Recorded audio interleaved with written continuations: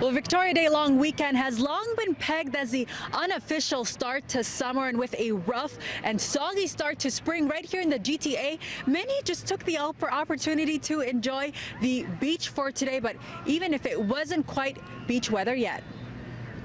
People just told me that whatever happens, happens and just kind of roll with it. So luckily we, you know, we lucked out. Three, two, one. A risk Leanne Waite and her groom Marcus Need were hoping would pan out for one of the biggest days of their lives. A wedding that wouldn't be complete without photos by the beach. I definitely wanted to kind of be at the beach just because, you know, I lived in Bermuda and he lives by the Jersey Shore, so I just thought the beach would be very symbolic, so I just kind of was worried about that. I mean, it's a little chilly today. It would have been nicer if it was a little bit warmer, but it's still a good day, you know. Got my bride by my side, and that's all that matters. Temperatures may still be on the cool side, but the GTA is at least finally basking in some sun. Did the rain bother you at all? Yeah. Why? Because I couldn't ride my bike. I hated it. Why is that?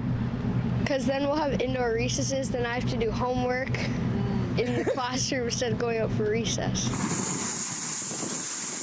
This was how the GTA started off spring as the weather rained in some havoc, flooding parts of the region, including a city favorite.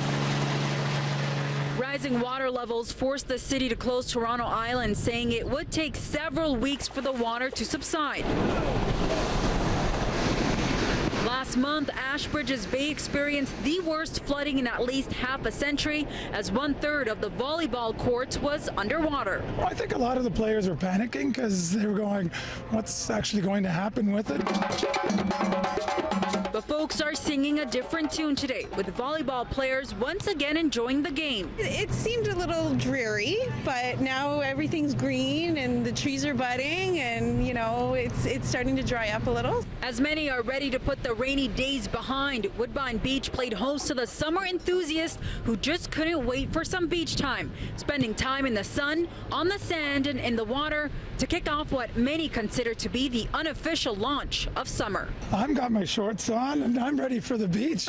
Uh, a lot of the people are complaining about the cold and the wind, but hey, the sun's out and uh, and it's it's be- it's beach time. You're forcing it. You're really forcing Absolutely. it. Absolutely.